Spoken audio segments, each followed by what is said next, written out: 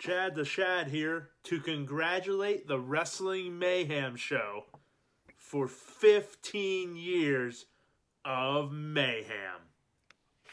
Looking back, who would have thought we would ever reach this part? A full decade and a half of debauchery, mayhem, and plenty of laughs.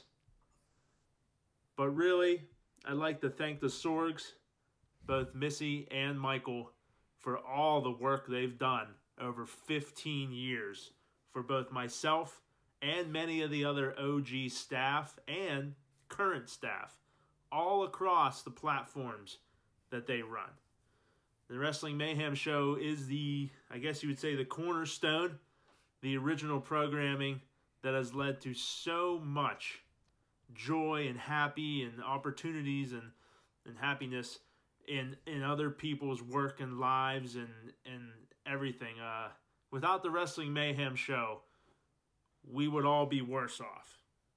So, uh, Chad the Shad here, of course, wishing everybody there a happy new year as we go into 2021.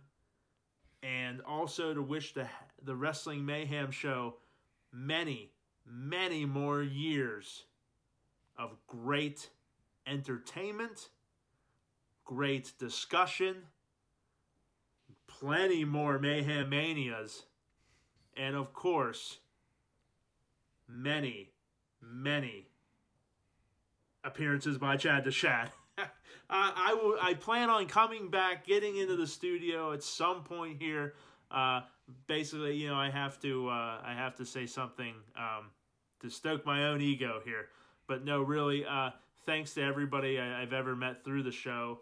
Uh, the Sorgs, Mad Mike, Matt Carlins, uh, uh, of course, when I brought uh, Doc Remedy and then everybody else, there's Vimmel and Brian Chappelle way back being an OG with it. And uh, of course, DJ LB, Mr. Lunchbox there, and Riz and Bobby F. J. Town, and all you guys. And I'm sure there's there's some I forget.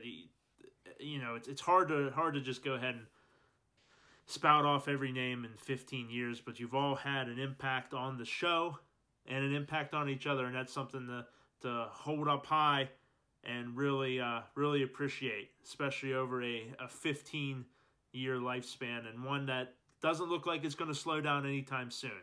So, Wrestling Mayhem Show, congratulations on 15. Next year, you'll be able to drive yourself to the local indie shows with your own driver's license since you'll be 16 and all. Enjoy that learner's permit this year. all right. Hello to everyone. And congratulations again on 15 years of mayhem. Thanks, Dad. What a heel.